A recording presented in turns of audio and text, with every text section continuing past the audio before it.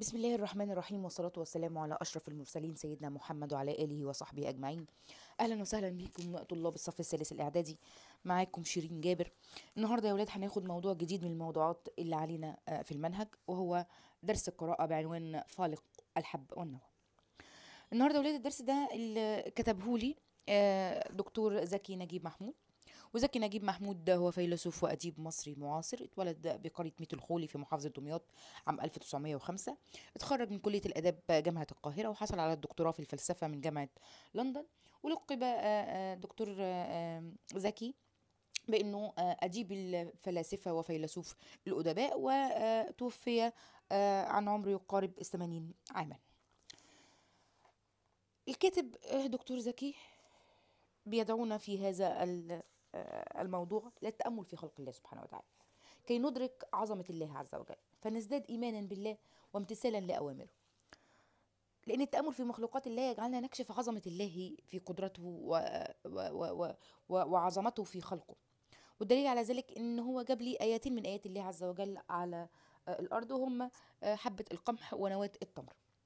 وبيقول إن إحنا لو نظرنا نظرة سطحية إلى حبة القمح ونواة التمر بنحسبهم في بداية آه، نظرتنا ليهم إنهم قطعتين من الجماد الأصم الأخرس.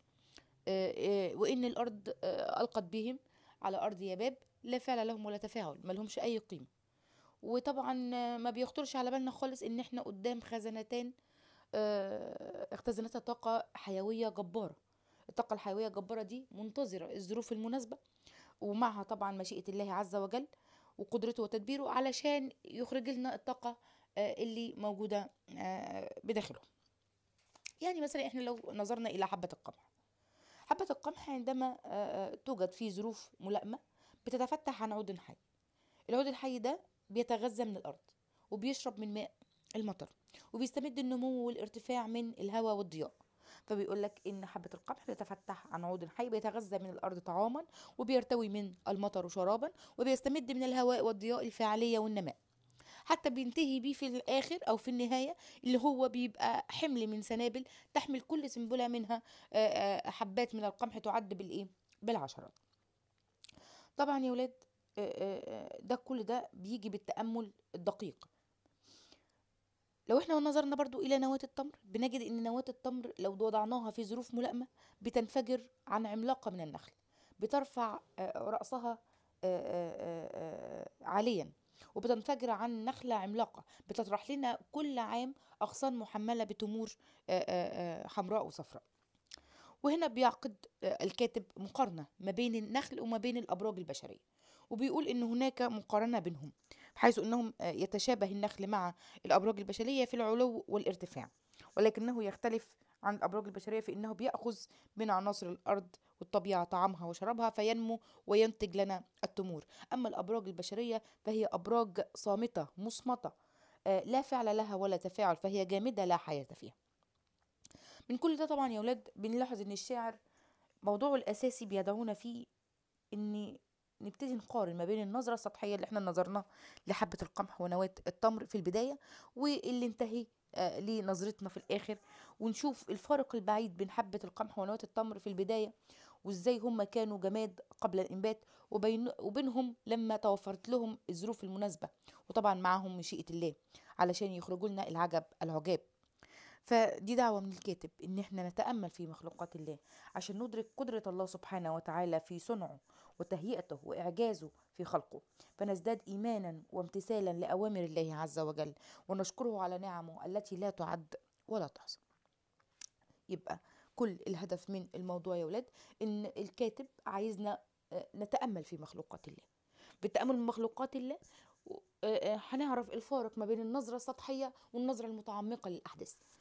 كل حاجة لازم ناخدها في حياتنا كده يا ولاد. ننظر لها نظرة آه، عميقة. لازم التأمل والبحث والتفكير في حياتنا علشان ننتهي بينا لعبادة الله حق عبادته والإيمان به وشكره على كل هذه النعم.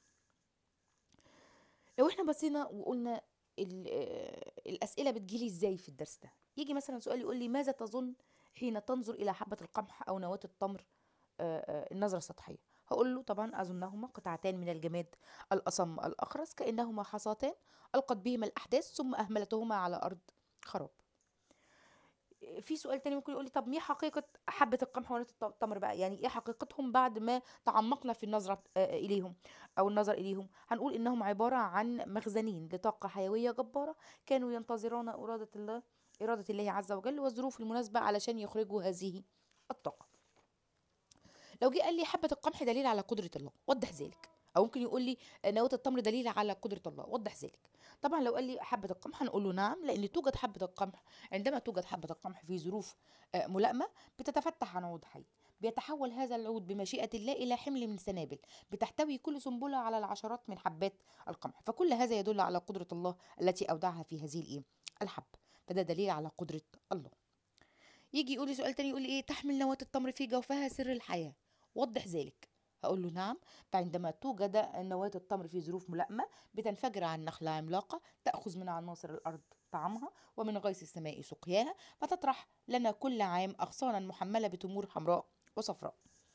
يجي سؤال تاني مثلا يقول لي ما وجه الشبه ما بين أو الشبه والاختلاف ما بين النخل وما بين الأبراج البشرية. هقول له بيتشابه النخل مع الأبراج البشرية في العلو والارتفاع وبيختلف النخل عن الأبراج البشرية البشرية حيث أن النخل ذو فاعلية ونماء حيث يأخذ من عناصر الطبيعة طعامه وشرابه فينمو وينتج لنا التمور. أما الأبراج البشرية فهم- فهي جامدة مصمتة لا حياة فيها ولا تنمو ولا تثمر.